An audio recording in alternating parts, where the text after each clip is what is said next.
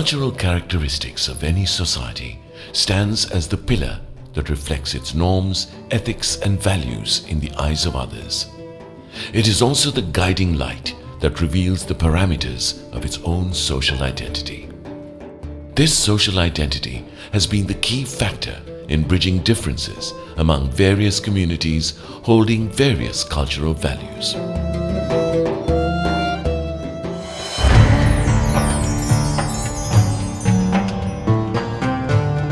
The Moors Islamic Cultural Home, which is popularly known as MICH, has been the hub of cultural activities of Moors and Muslims of this country for more than 75 years. MICH was founded in 1944 by the enthusiastic philanthropist Sir Razik Fareed, who had a group of committed and dedicated men to kickstart the MICH on an ambitious note at Second Cross Street, Pettah. 1965, they moved to their own headquarters in Bristol Street Fort, where it still stands tall. It was ceremonially declared open by Prime Minister Dudley Senanayake on 30th of May 1965. MICH has made a huge difference in the lives of millions of people, especially in the activities of religious, literary, community welfare, youth affairs, employment and training, social and recreation, foreign relations and cultural affairs, housing and hostel accommodation, janaza service, maintaining an elder's home, and the Women's Bureau. The vision of the MICH is to strengthen harmony among all the communities living in Sri Lanka and widen the existing relationship and linkages in the religious, educational, cultural and social sectors and extending mutual respect to each other's religion and cultural practices.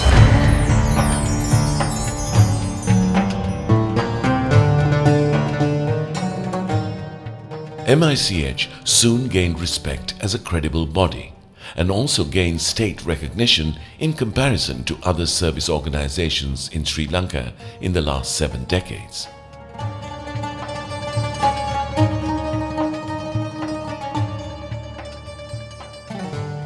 When we wanted to refurbish this beautiful room that we are, we are now, uh, which was built for the children who are being brought for the medical legal examination, and uh, Mr. Omar Kamil, as the president of that uh, organization, uh, helped us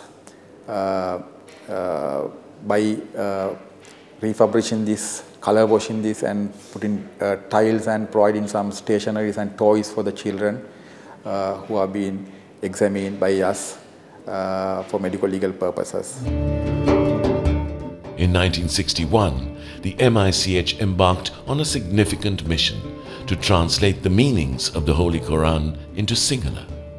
The panel included Pinoris Wickramasinghe, Maulavi M.A.C.A. Lafir, and Maulavi M.I. Abdul Hamid.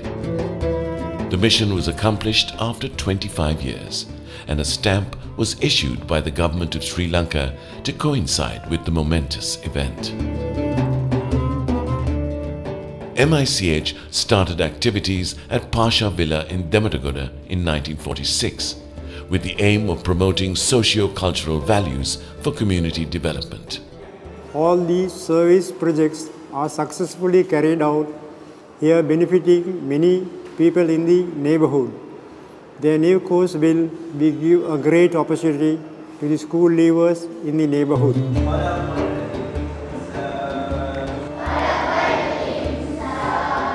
Pasha Villa conducts a wide range of activities, especially targeting the youth and women, boosting socio-economic and educational development in vocational training for school leavers and unemployed youth. The Technical Training Institute duly registered with Tertiary and Vocational Education Commission. Most of our past students, numbering over 2,000 students who had completed their courses successfully over the years are gainfully employed both here and abroad. Under this program, every year, hundreds of young men and women are trained and groomed by this program. The MICH Montessori House for Underprivileged Children plays a key role in the process of education.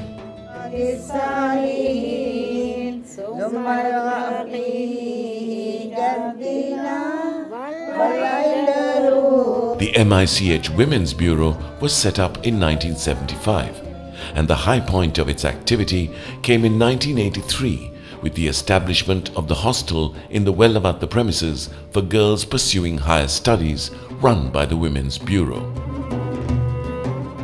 Most of the projects are self-funded by the Women's Bureau by organizing fundraising projects and also assisted by the parent body. Our vision is to expand the projects to serve our nation in the coming years. The MICH Women's Bureau organizes fundraisers to assist the needy in education and training as well as to help those during times of disasters and calamities. In 1955, Lady Amina Fareed, wife of Sir Razik Fareed, donated the Elders' Home in Makola to the MICH. It was ceremonially opened by Governor General Sir Oliver Goonetilleke on September 22, 1957. The Elders' Home was further expanded and developed to a fully fledged home in 2007 through the benevolence of Haji Elias Abdul Karim in loving memory of his parents Haji Abdul Karim and Hajiani Zubayda Mohammed.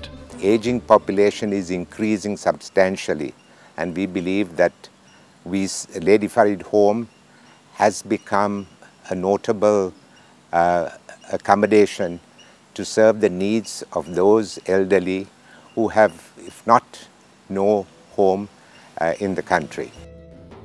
This provides a dignified atmosphere for senior citizens to spend their latter parts of their life. Today, it accommodates more than 60 inmates, both males and females, who are being cared for and looked after in a dignified manner. Even in today's modern world, the cultural patterns and values of Moors promoted by MICH has contributed towards maintaining and upholding the values of Sri Lanka's traditional culture and upholding harmonious ties among all communities.